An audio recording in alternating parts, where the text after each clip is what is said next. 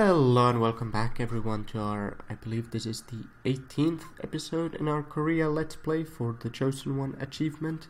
My name is Sneaky Bard and we are nearing the time when we can finally finalize the conquest of Japan here.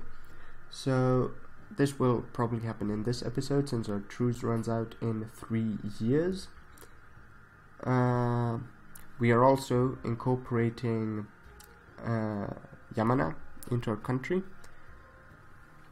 Russia is slowly getting closer to us. Yes, now they do share uh, borders with us, so they will slowly start to give us their institutions, I hope. Let's see. Has the institution spread already registered? Yes, it has. Great, great, great. So we can start using our money that we are saving up to just power through these institutions. And then, can we, no, crap, Russia does hate us though. So we, why do they hate us? Do they have a mission? They have a mission to conquer Finland. But I guess that they view a lot of our lands here along Lake Baikal as either necessary or strategic for them. So, who could we select as rivals? We can select Ayutthaya. Let's do that. Or we could select Oirat. We don't want to select Oirat though, so that is something that we we will hope that being under the influence of Ming is enough to deter Russia and we can stabilize our relationship with Russia uh, during the time that we conquer Ming. So this is going to be a tightrope walk here. But we we will get through it somehow. There's also some really interesting allies that we can look at in the form of Jaunpur. I mean obviously now they're a bit too far away for us to consider as allies. But we will get there. I mean Jaunpur is for instance here saying oh only 67 um, reasons not to become your ally, so I will put myself as being friendly with them. And can we actually... Uh, yeah, we could start probably fabricating on Pasai, and we will lose ducats.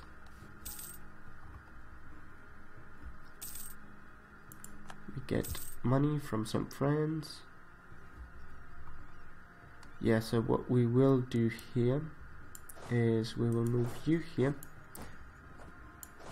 and we will build we can't build more um, transports so we will just tell the guy in charge of the this army that we want to move them with the transports here. How much money are we making? Making quite a bit of money. Let's up that like to that level so in case there are natives rising up because our army um, lands on that province we can still defeat them. We have 33 men in that army so let's put them on Yehe. That way they don't suffer attrition. How's Ming's army size looking? I mean, I guess it can only grow. Yeah, it's not growing by that much. Oh. We need to bump up stability apparently. We want Oirat. We want Dai Viet. Not the best queen consort, but it happens. Wutsang, can we marry you? No. But we can marry Sarig Yogir. So let's fabricate the claim that we lost on Satake and recall this diplomat. Okay. Russia doesn't completely hate us anymore, but they are hostile. Oh, and they've got von Habsburg on their throne. This could get interesting there.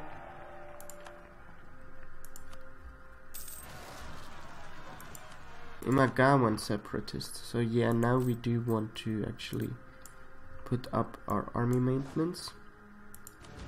so we can deal with them. Let's put... And we have a subpar heir on our throne. How lovely. So let's do this. And no, we're not paying anything for corruption. And here, let's build spy network on Pasai. Because next step is to just... Can we conquer all of Pasai at once? Not quite. They're a bit too too advanced for that. We could get something like this here. And Johor, we do want Johor. Would be annoying. Yeah, probably these islands as well, and then Johor. Because if we don't take Johor, that will just be annoying. Let's also send our fleet here. Yeah, sure, Yamana. Let's let's give you a royal marriage.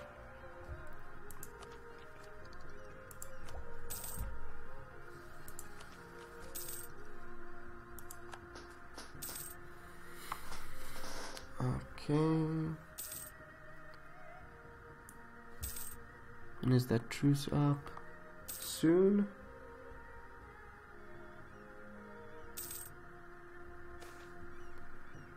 Um, admin points or money? Admin points.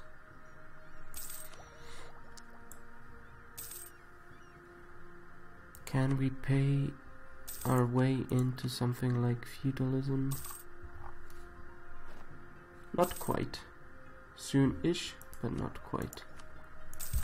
We can get more states though.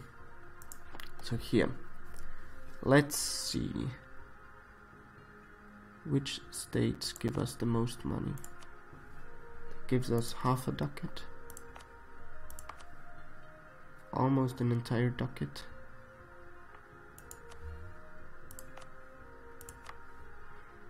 One ducat. 25 for northern Kyushu. Not that much. One ducat. One for Tohoku. So northern Kyushu and Tohoku definitely. East blah blah blah.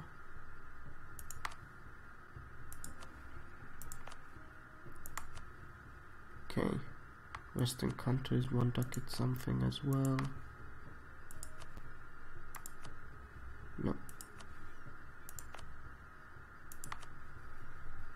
Yeah, Taiwan is also quite good. No, not there. Eastern Kanto isn't good. Alright. Outer Mongolia. Yeah, let's put you, because you don't even cost us anything. In points. Nothing to Irkutsk. Chubu, no. You only gave us half a ducat. No, I mean you probably wouldn't cost us anything either.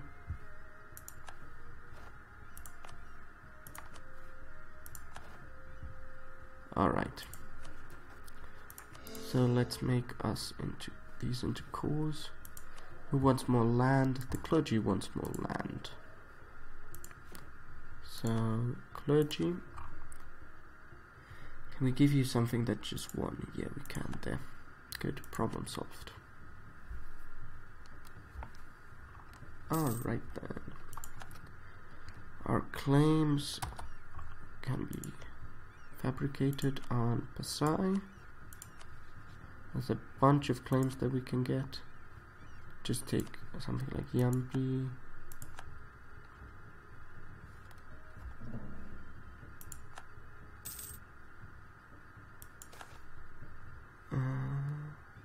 Let's lose that one prestige.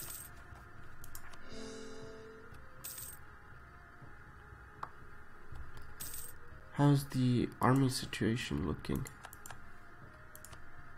We can get two more peeps into the army. not worth worrying about just yet.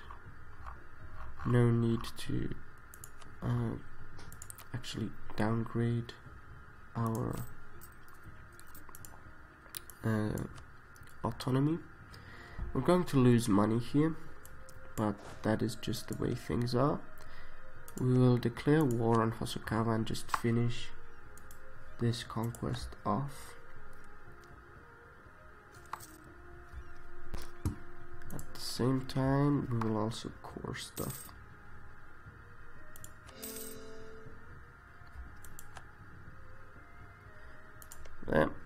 Hosokawa, it's time to die. What?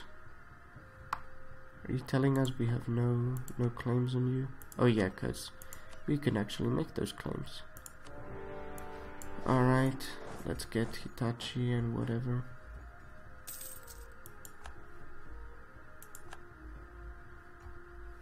And then let's just go here.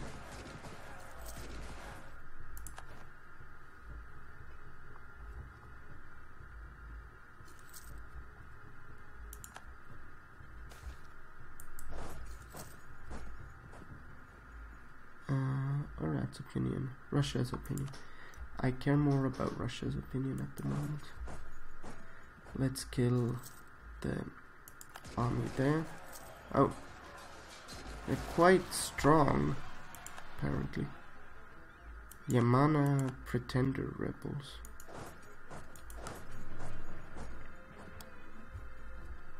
Great. Not the best thing that could have happened to us there. Okay, we've gotten Kyoto.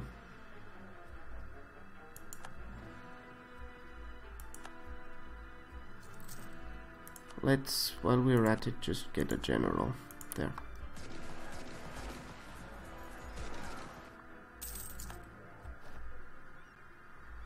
Let's lose prestige. Okay. And remember to core stuff. Oh, we cannot make them into cores.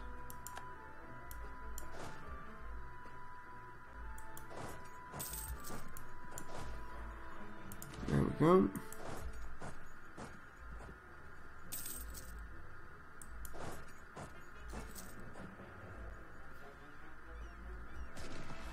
Alright. They have both higher discipline and tactics compared to us. But we still managed to defeat them, which was good. Now, let's get rid of them there. Nice. Uh, yes, we do want the merchants to up the taxes there. And now let's go help in that siege.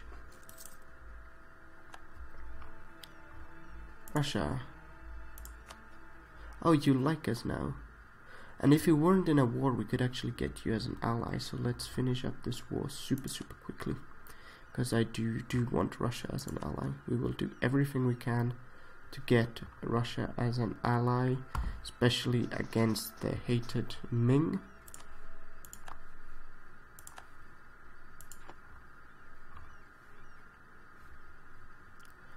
So we can do this. Royal marriage with the Oirat died. Yeah, sure. Accept. Uh, come on. Yay, we get Diplo power.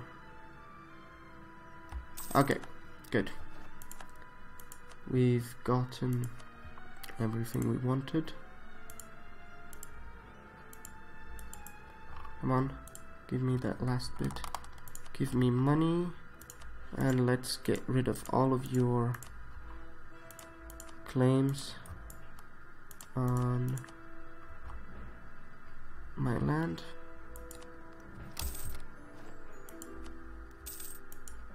There, oh, there was an event that I forgot to read.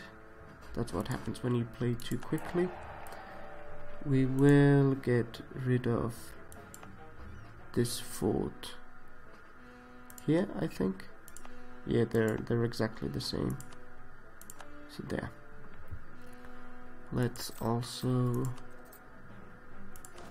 But yeah, uh, mothball the forts. But yeah, the the um, event was probably just Japan will prevail. Blah blah blah.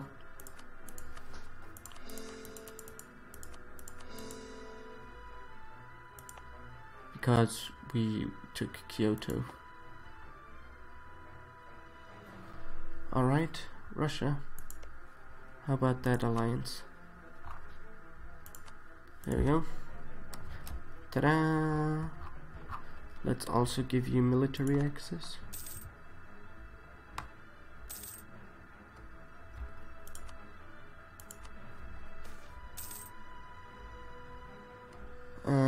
No, we do want the... Yeah, we can let harmonization go down a bit. We don't want the monthly autonomy to tick or uh, go up by quick jumps like that.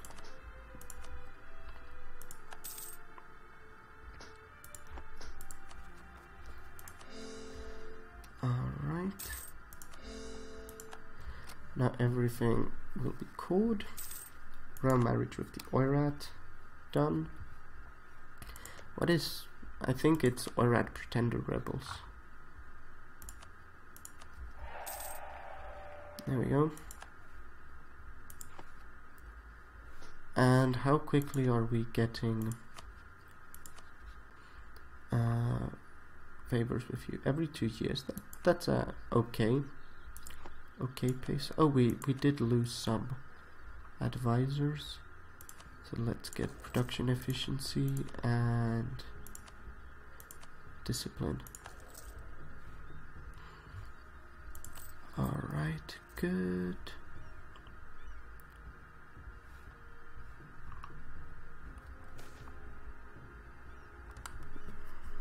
Do we want to divorce her? No. Let's just eat the revolt risk. I mean, nothing bad's going to happen.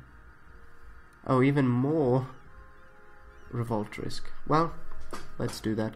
A vernacular novel about a well-known story from Go from the Go Goguryeo Goguryeo era is rapidly gaining popularity among our subjects.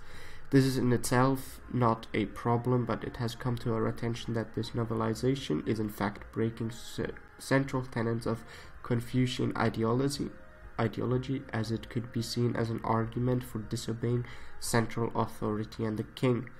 Our administrators now argue that the book must be banned, though some fear this will only make it more alluring to those that wish to read it. Let's ban it. What could possibly go wrong?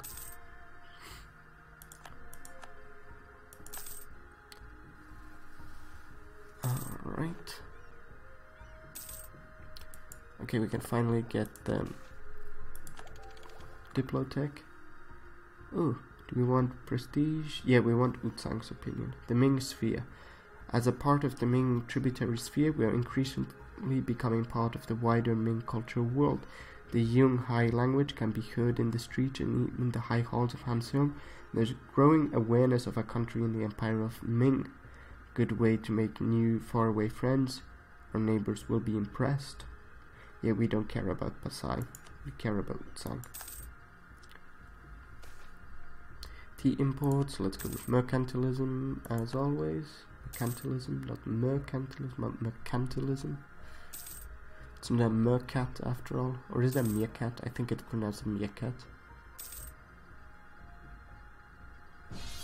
Oh, Rush Oirat.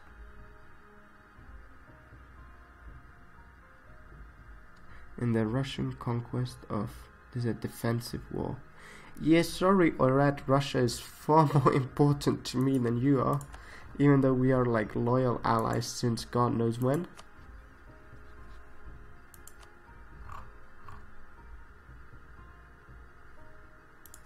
Sorry. Russia is just way more important.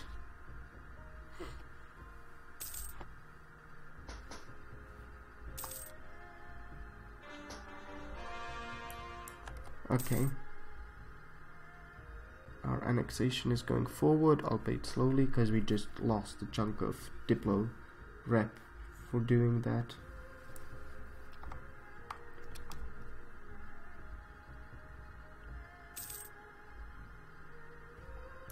What religion are you? You're still Buddhist. Kyoto is part of our patrimony. Let's just maintain that diplomat there for a while. Alright, that is the timer, so this is part of the episode, and just in time for us to have harmonized the Shinto faith. So I will just read this and then call it an episode.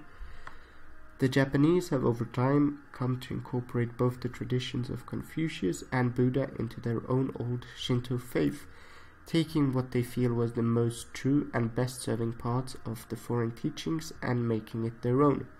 In many ways, this has in turn made their religion easier to incorporate and harmonize with the ideology of Korea. As time goes by, the Shinto identity becomes less and less of an issue, and Shinto followers can be found high and low in Korean society, forming a new group within our complex government apparatus that an outsider would have a very hard time distinguishing from our own. Submit the purple of virtue, assimilate the purple with enlightenment. So, until the end of the game, we get 5% more infantry combat ability. Alright, that was it for this episode. So, thank you for watching. As always, I've been Sneaky Bard, and if you do like the episode, do like it. And if you like the channel, then do subscribe and do also spread the word on Twitter, any social media platform that you use, and where you know that people who might want to watch EU4 Let's Plays or just RPG, stealth, MMO Let's Plays uh, gather. That's all appreciated. I will see you in the next episode, so bye bye for now.